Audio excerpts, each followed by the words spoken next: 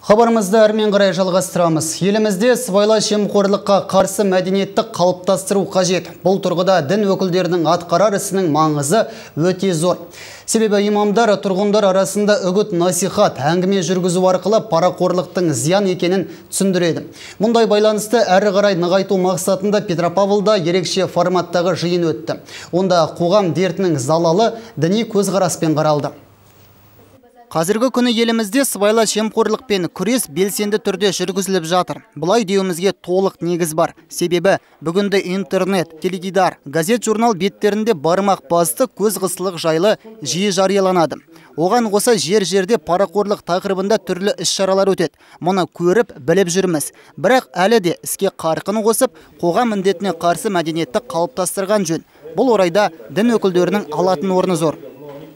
ниетіміз осы мына діни ә, мұсылман басқарма арқылы алдын алу шараларды ұйымдастыруымыз қажет деп ойлаймын. Неге десеңіз олар үгіт насихат арқылы ә, жалпы түсіндірме ә, әңгімелер арқылы әрбір адамның миына дін жағынан ой жеткізетін сияқты. Дін өкілдерінің сыбайлас жемқорлық жайлы айтары мол. Бір ғана ислам дінін алайық. Мұнда парақорлыққа жол жоқ. Шариғат заңы бойынша тек адал жолмен ғана табыс табу керек. Біреудің ақысын жеуге болмайды. Сыйлықты да өз орнымен беру қажет. Шариғатымызда бұрын араларында сондай құда жекжат тағы басқа ағайын туыс болмай жалпы танымайтын адамға лауазымды кісіге сыйлық беруге болмайды. Тіпті мынау сот жүйесінде ислам әлемінде сот жүйесінде тіпті екі кісінің жаңағындай екі қарсы тарап дейміз ғой солардың бір бөлмеде бір бес минут уақытша қалуына да рұқсат бермейді екен.